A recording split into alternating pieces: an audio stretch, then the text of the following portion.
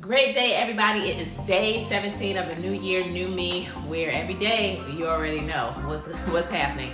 And so over the last couple days, I kind of shifted to fitness and I talked about making sure you have that fitness assessment and you have some goals. When yesterday I talked about having that workout plan so that you can plan to win and you don't end up failing as you are moving towards your goals. But the next thing that I want to talk about today is I'm to the kitchen. I'm not in here cooking.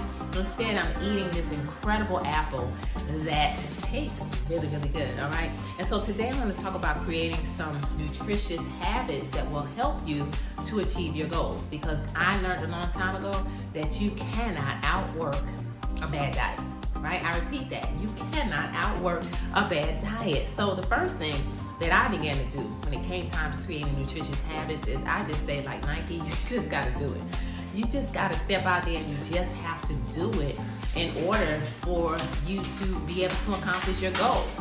And so when you understand that, you will now just begin to create some healthier lifestyle habits that will then begin to allow you to shift in the direction that you want to shift. So, you know, be patient with yourself and understand that creating nutritious habits can take some time. However, however, I'm that person that just says, just do it. But you got to do what's good for you. The second thing is have a plan right? Plan out and prepare your meals, okay? That's something that has really helped me to be able to stay on task and on target because I'm a person who struggled with making sure that I ate. Not so much that I would eat horrible things. I, I stopped eating meat, and so what what what happened with me was that I got bored with eating the same thing over and over and over again. So I would just decide not to eat and would starve myself all day long. And then when I did decide to come in the kitchen, I would just grab whatever, right? So you don't want to do that. But when you plan and you prepare, and you now have some some recipes, right? We have an incredible uh, system here that gives us some incredible recipes. Now you're able to stay on target and on track. Maybe you meal plan, you plan out the next five days, whatever works for you, do it. Okay anything that will help you to make sure that you're creating these healthier habits, right? And then on top of it, I want to say the next thing is be mindful, right? Be mindful of certain things. Not so much that you gotta go in the, in the grocery store and you know like look at everything right right?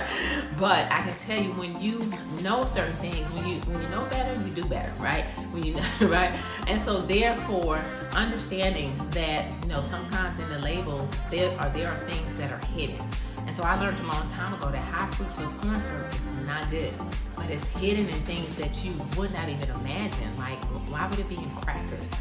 Why would it be in wheat bread? And so this is the bread we buy because I realized that, you know, a popular name wheat bread that we were purchasing had high fructose corn syrup in, and it is addictive. It's like 10 times more addictive than cocaine. And so when you know these things, you do better, and you have to be mindful to now stop these things and to look for better options in order to be able to make sure you're creating these nutritious habits.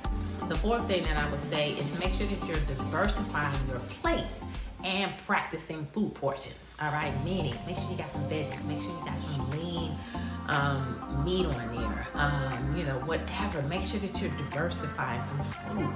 Uh, and also smaller portions will help you to, you know, not be hungry, but also it helps to increase your metabolism. So, you know, we have to realize that our stomach is about this size, but we end up with these big old plates piled this high, and we wonder why we're unhealthy. We have to stop doing that, okay? So practice the portion control, eat smaller meals, snack a little bit on healthy snacks like this apple, right? And I can tell you that you'll begin to feel better. And the last thing that I want to say is to make sure that you stop drinking sugary drinks. Okay, sugary drinks is going to keep you from achieving your goals. Replace it with water. Stay hydrated. Drink more water. Okay, because water is the key to life. Every single aspect of our body needs it.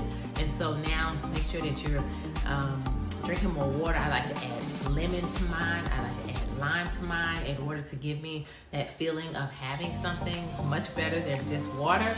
But whatever it is, whatever works, or maybe some herbal teas. But getting rid of those sugary drinks will definitely help you to achieve your goals. So I hope that this helps somebody. And again, remember, the only way to change things is to change things. So let's go ahead and let's live a healthy lifestyle by eating better. See y'all soon.